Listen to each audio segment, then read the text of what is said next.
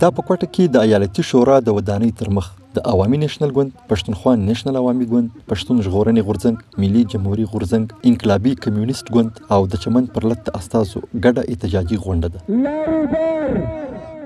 خپل خاوره خپل اختیار چمن کرښه باندې چې کوم د یو کار رسې چمن پر لت ناست دی چې پر دې باندې پاسپورت لاګو کړی دی د دې پاسپورت د نامنلو او د زموږ چې تجارت کم کیږي دا تجارت موږ پر تذکره یا پر شناخت کارت باندې زموږ د دې د نن درنې د دا غوښتنه ده او دویم زموږ سه د بل ورځ په دوکۍ کې یو د شرګرد عمله سوی ولا چې په دې کې شل ویس مزدوران په شهادت رسولیو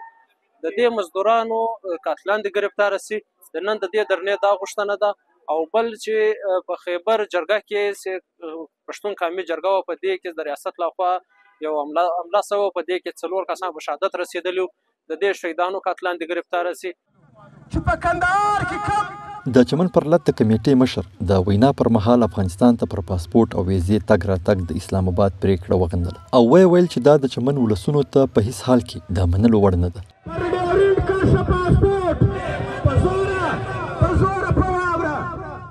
قبایل په یو صورت نه ستا پاسپورټ مني نه پر پاسپورټ ستا سره کښېني او خصوصا زموږ د چمن پرلت په یوه طریقه ستا سره نه پاسپورټ منو نه موږ نه موږ د لیکې هغه غاړې ته پر پاسپورټ باندې ځو موږ پر شناخته کارټو پر تذکره د تا سلار غواړو لس نه شپېته دې وژلي یو دوه سوه دې زخمیان کړي یو چې دوه زره وژنې درې لکه زخمیان کې قسم په خدای که یا در سره ومنو یا ولا که موږ خپل پرلت ولاړ کو در هغه ساعته چې زموږ د چمن د پرلت سره دي دا خبره تصدیق کړې نه ده چې وروره ستا تګ راتګ د پخوا په شان پر تذکره ته د نن تاریخ څخه آزاد جنوبي پښتونخوا کښې ریاستي اغوا تاری.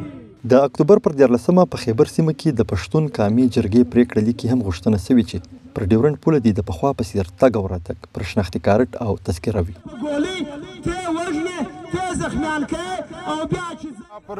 ډیورین لاین باندې چې دا اوس دوی کومه د پاسپورت پالیسی یې شه ده دا موږ په جرګه کې پریکړه کړې ده جرګې هم دا پریکړه کړې ده چې پر ډیورین کرښه باندې موږ په پاسپورت او پښناخت کارت باندې تګ او راتګ غواړو او د پاسپورت او د ویزې پالیسی بالکل نه منو ام دا سنن هم موږ په دې احتجاج کې دا غوښتنه کوو چې دا ټول پښتون ملت دا له تاسو سره نه مني ولی چې دا یو تاریخي حقایق دي چې کوم وخت دا معاهده سوې ده د ډیورین په دې معاهده کې دا واضح لیکلي دي چې دلته دواړو خواو ته میشت ولسونه به آزادانه تګ او راتګ کوي